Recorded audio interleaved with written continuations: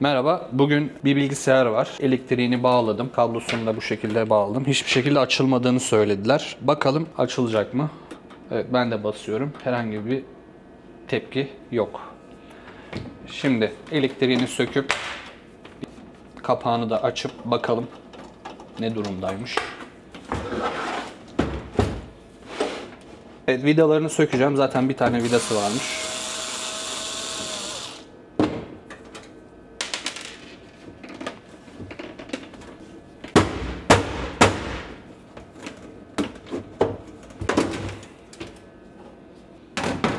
İçi göründüğü üzere bayağı bir kötü durumda.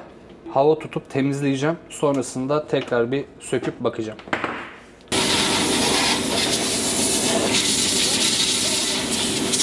Evet şimdi ben bir hava tuttum. Öncelikle bir power supply'ını söküp test yapacağız.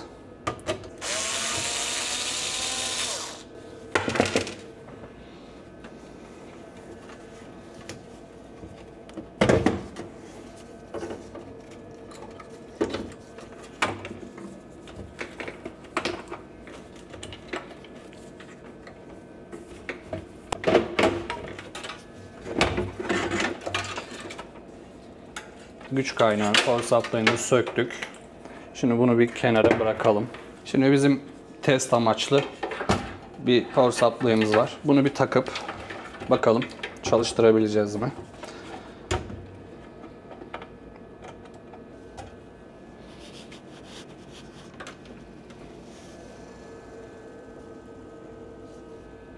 Bilgisayar çalıştı, fanı döndü. Burada anlıyoruz ki power supply'ımızda bir arıza var. Şimdi bunu bir söküp tamir etmeye çalışacağız. Power supply'ımızda bir elektrik sorunu var. Yani tetik almıyor. Bilgisayar şu an çalıştı. Şöyle bir görüntüye bakalım. Evet bilgisayar çalıştı. Power supply'ında bir arıza varmış. Ee, şimdi power supply'ını da bir söküp bakacağız.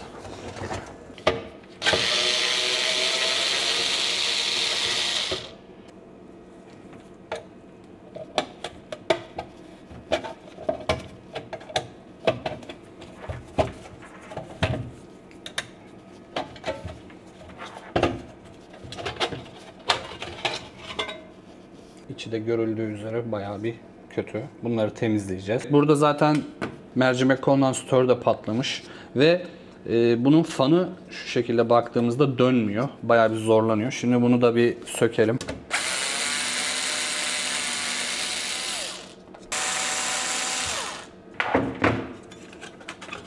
Evet, kartı şu şekilde dışarıya içinden kasadan çıkartacağım.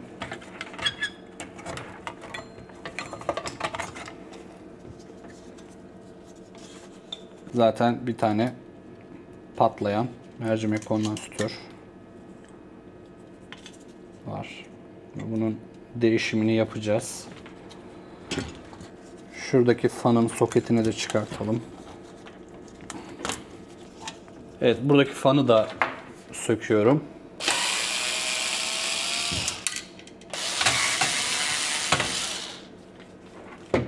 Evet, fanı da çıkardım. Şöyle göstereyim. Maalesef fan dönmüyor. Boya yapılan bir atölyede çalışıyormuş bu e, bilgisayar. Bundan dolayı fanı kilitlenmiş. Şimdi biz bunun da tamirini yapacağız. Bunu bir ayıralım kenara. Kasadan 220 bağlantısını da sökelim. Havyayla. Tamamdır. Artık kasayla da bir işimiz kalmadı. Kasayı da kenara ayıralım. Şimdi burada patlayan bir mercimek kondansatörü görüyorum. Ve şurada şişen şu şekilde 1, 2, 3 tane şişen kapasitör var. Bunlara bir ölçüm yapıp kontrolünü sağlayacağım. Sigortaya bir bakalım önce.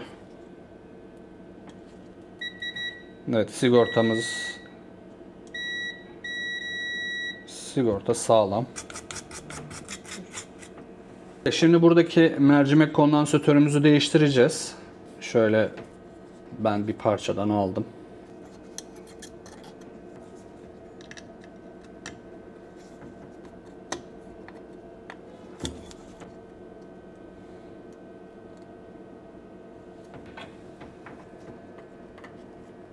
mercimek kondansatörümüzü de yerine koyduk.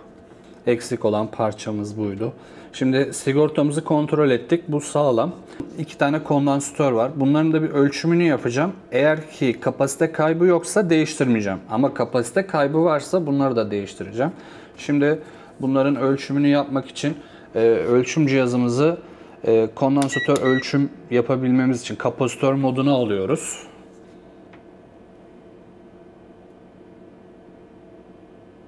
Evet ölçümünü yaptım. Bize bir veri göstermedi. Bu da bunun patladığını gösteriyor.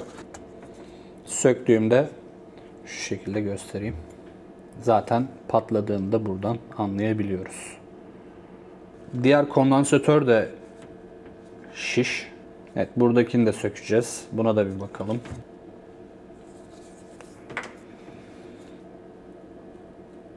Hemen bir ölçelim. Evet bu da patlak. Şimdi şurada bir tane daha var. Bunu da sökeceğim.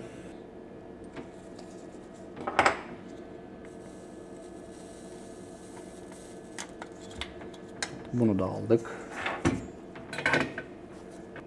Evet 1585 değerlerini gösterdi bize. Kaç? 680. Bu da patlak. Siyah tarafları her zaman eksidir. Şu şekilde.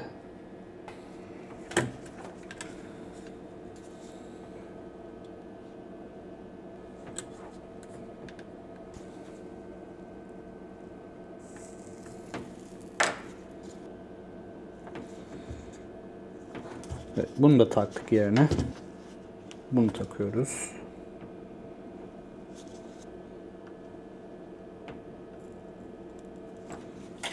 Evet işlemimiz bu kadar. Patlayan kondansatörleri değiştirdik. Şu ortadakinden de emin olamadım. Şunu da bir söküp bakmak istiyorum. 470 UF 16. Hemen bakalım. Evet bunda da kapasite kaybı var. Normalde 470'ti. Ama maalesef bayağı düşmüş. Şimdi bunu da değiştireceğiz. Ben takalım hemen.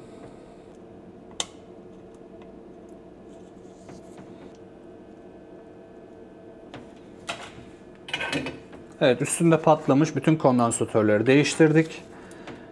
Evet işlemimiz bu kadar. Kondansatörlerin şişmesinin ve patlamasının bu mercimek kondansatörünün patlamasının nedeni de ısıdan kaynaklı. Fan dönmüyor görüyorsunuz. Ben elimle bile çok zor döndürüyorum.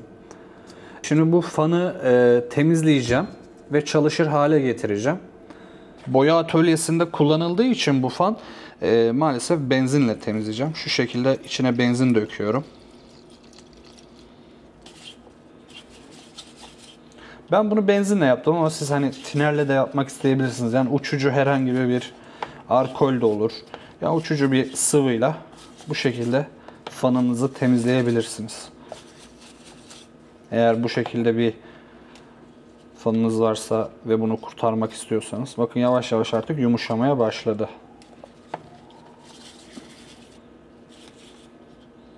Fan artık yumuşadı. Temizlikte bence gayet güzel oldu. Power supply'ımızın değişmesi gereken kondansatörlerini ve bir tane patlayan mercimek kondansatörü vardı. Bunları hallettik. Fan bayağı bir kötü durumdaydı. Elimle bile zor döndürüyordum. Artık bu şekilde çok rahat dönüyor. Ee, bunu da temizledik. Güzelce arka bantını tekrar yapıştırdım. Benzinle temizleyebilirsiniz. Varsa tineriniz bununla temizleyebilirsiniz. Güzelce kurutmayı unutmayın. Bunun haricinde bir sorun yaşamazsınız bu şekilde. Şimdi ben e, toplamaya başlayacağım.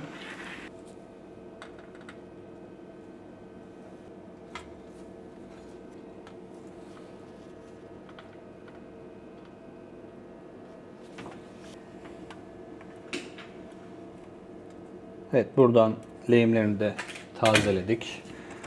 Elektrik bağlantısını da yaptık. Şimdi kasayı toplama zamanı.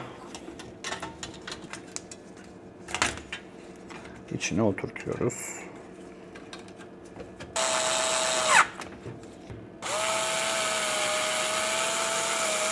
Son olarak da fanı takıyorum yerine.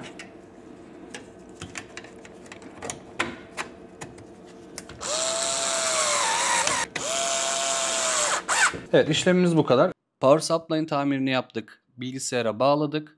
Yaklaşık 1 saattir çalışıyor. Herhangi bir sorun yok. İşlemimiz bu kadar. İyi seyirler.